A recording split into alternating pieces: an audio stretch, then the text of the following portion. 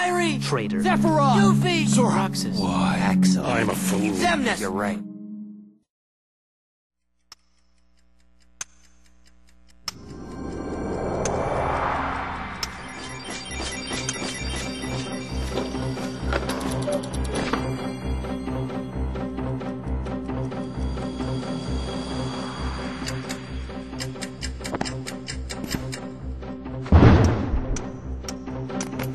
Oh, my whiskers! I'm late, I'm late, I'm late!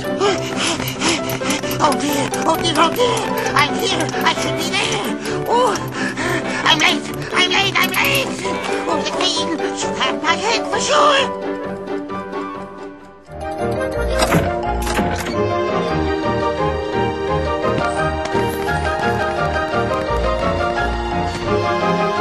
How did he get so small? Uh, no, you're simply too big. What? That clocks!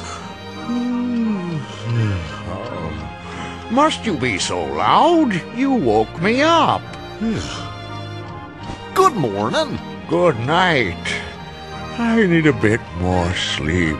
Wait, what do we have to do to grow small? Why don't you try the bottle? Over there.